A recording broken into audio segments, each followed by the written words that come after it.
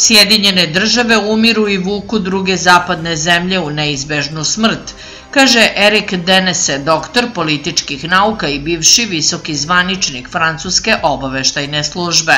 Komentarišući situaciju oko Ukrajine, on je rekao da su za tu krizu od samog početka krive zapadne zemlje, koje su dozvolile da se silom svrgne demokratski izabran predsednik Viktor Januković, Zapad je ohrabrio i podržao taj državni udar, kršeći vrednosti i pravila za koja se sam zalaže širom sveta.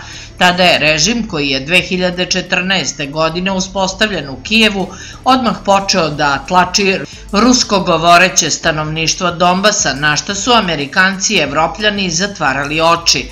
Danese je sve ovo rekao u intervju za Atlantik koji ukazao – Sve ukazuje na to da je atlantička rusofobija postala nezaobilazan način života za SAD i NATO, a Zapad pritom samo povećava tenzije.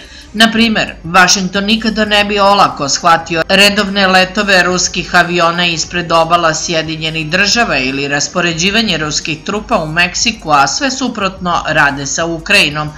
Danas se procenjuje da je čvrsta pozicija Rusije po ukrajinskom pitanju primorala Amerikance i NATO da se vrate za pregovarački sto. Izgleda da su sa zakašnjenjem shvatili da ne mogu da nateraju Moskvu da odstupi i da će biti odgovorni za sukob iz kojeg ne mogu izaći kao pobednici.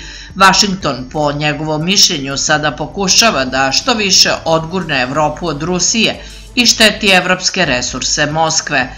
Kao primjer takvog delovanja navodi situaciju oko gasovoda Severni tok 2.